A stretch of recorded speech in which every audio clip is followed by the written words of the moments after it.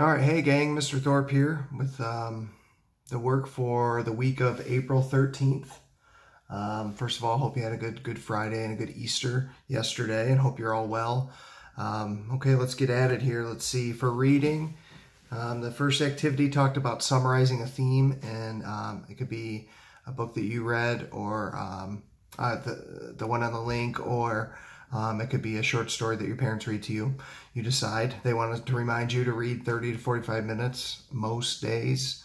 Um, and also staying with summarizing and themes to um, summarize your favorite read aloud from this year. So we think back, we had in the year of the born Jackie Robinson, we had Harris and Me, we had Edward's Eyes. Um, we were kind of through the Mighty Miss Malone, but not really. So um, there's some um, some options for you. So summarize with theme. I think we already did that with um, Harris and me, so um, might be pretty straightforward. Word study, they want you to play around with that word bank and play with prefixes and suffixes.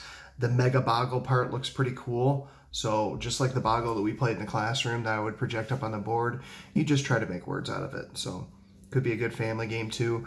Writing, they want you to read about something. Maybe you can search it up on the internet and something new and then take notes about it. Um, write about uh, a favorite event in history and write a new chapter for our social studies text.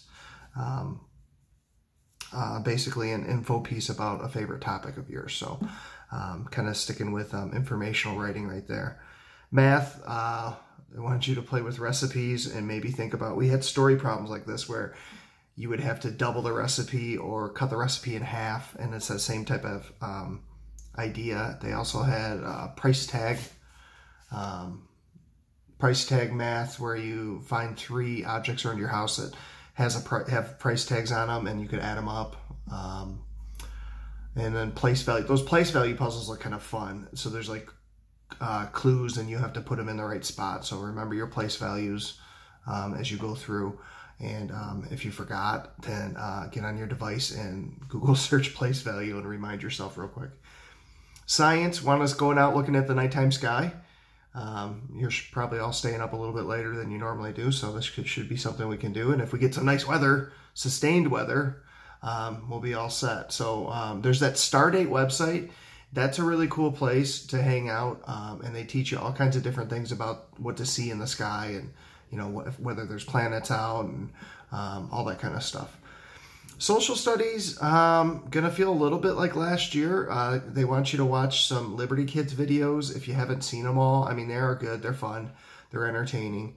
Um, you can watch some of those, and then they, um, it's all about steps leading up into the American Re Revolution. Um, you know, things like the Stamp Act, the Quartering Act, uh, the Townshend Acts, um, the Intolerable Acts. Remember, those had a different name if you were um, British or if you were uh, um, uh, soon to be American. So uh, look into that. There's that foot activity, steps leading up to it. Your special teachers have done a, a ton of work too, giving you um, some fun activities to do. So please be sure to look into those. And um, that's kind of, kind of it for next week. Um, if you create something really cool, something you're really proud of, um, take a picture of it and email it to me. Um, and that's also does two things. Um, it shows off your great work, but it also lets me know that you're doing okay and that you you receive the work.